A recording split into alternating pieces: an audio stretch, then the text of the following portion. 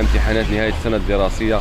سطرت مصالح أمن ولاية الجزائر مخطط أمني يهدف بالدرجة الأولى إلى ضمان تسهيل الحركة المرورية وتأمين تنقل التلاميذ إلى مراكز إجراء الامتحانات. وكذا تسخير كافة الإمكانيات المادية والبشرية والاستعانة بكاميرات الحماية والأمن آه، من أجل آه، التدخل الآني والفوري في حالة وجود حادث فجائي لا قدر الله. آه، ومما قد ينجر عن عن الحركة المرورية.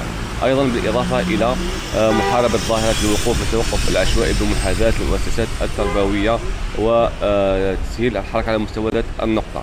كما تمنى مصالح أمن ولايه الجزائر حظ موفق لجميع التلاميذ.